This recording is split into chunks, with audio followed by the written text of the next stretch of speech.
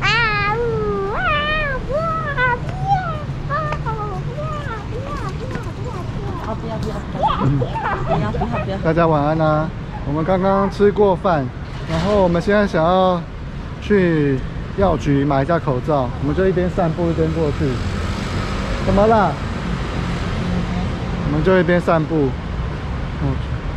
一边聊天一边过去。我们刚吃这个，我们刚吃顶金，在这边黑色的招牌。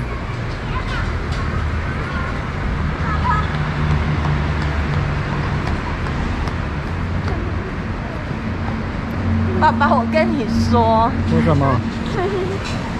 做好事，好事？什么好事？什么好事？你说什么什么好好事？说啊，什么好事？妈妈要跟你说好事。好，说吧。彤彤刚刚打人，那是坏事，彤彤打人，不可以打人。为什么要打人？因为快掉了我彤彤没做事。因为你没做事，啊呜！要掉了。啊呜！啊！我们去看看有没有卖口罩。听说啦，我有看听说小朋友的很好买，我不知道是不是真的。每天早上看那个大人的啊，都大排长龙，还有领号码牌。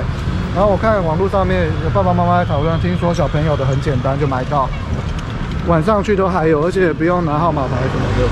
我不知道是不是真的，我们去看一下。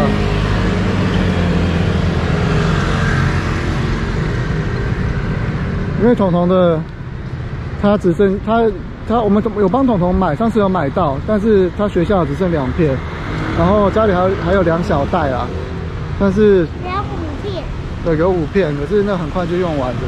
如果有的话，先帮他再买个两片，就是这样。我们也不是要囤啦，可是小朋友在学校消耗的很快啊，通常都是带一整天的。一天一天都八个小时。对，我是还好，我就是出门带一下。啊，小朋友在学校团团体生活消耗的很快。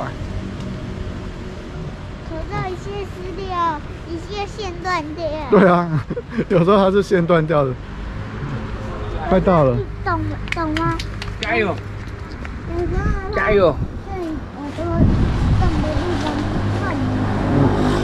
还好啦，你至少都有带一天以上啊。哦，我们都还，我们都还用到说拿酒回家都拿酒精喷一喷，然后隔天再继续戴，我们都有做到这样子。一个口罩戴重复会重复戴，不是只戴一次就丢。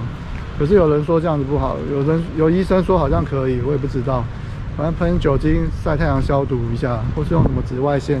如果你家有奶瓶的那种消毒消毒的机器的话，紫外线可以重复用。有人是说可以啦，我不确定，但是我们是有重复用。他说已经卖完了。那是那个大人的、啊，我们去问一下儿童的、啊，儿童的通常他说有机会啊，有问有机会，我们问一下。对儿童的，防疫口罩也卖完。我们都会贴啊，成人还是儿童？对，你们你说你们学校那边药局哦，嗯，他都会分成成人的卖完，儿童的卖完，我们问一下好了。那说什么？请问幼儿的口罩也卖完了吗？小朋友的，小朋友的还还有吗？还有哦，小朋友的还有。小朋友还有？我们还有健保卡跟好好。等一下。你的还有啊？对，小朋友的真的还有。要给这边吗？好，谢谢。小朋友的多少？一样一样十块。十块。哦，在这边有写。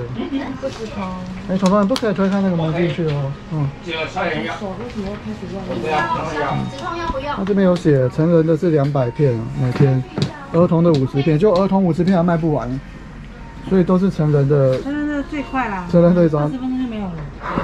对我每天早上带他上学经过，有看到都大排长龙，你们辛苦了，在二十分钟以内买到才有。要很早就来排队啊。香君小姐，要找到。工作人员都很辛苦啊，还要发号码牌什么的。这里的电池已经。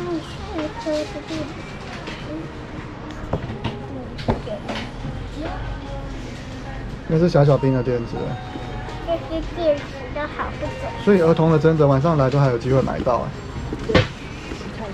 谢谢。可是儿童的一天也只有五十片，谢谢。彤彤，你的有订那个一个药蓝色的。这次是蓝色的。优先那个优。我们班有小朋友也用蓝色的好，硬壳，你要放妈妈的包包里吗？放你的包包。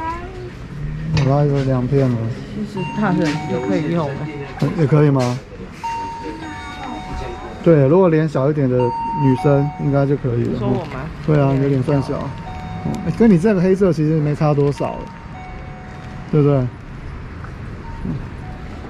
所以是真的耶。网络上那些就是讨论区，像 PTT 的讨论区，或是 Facebook 上面，我看到一些有有小朋友的朋友，爸爸妈妈们讨论的是真的。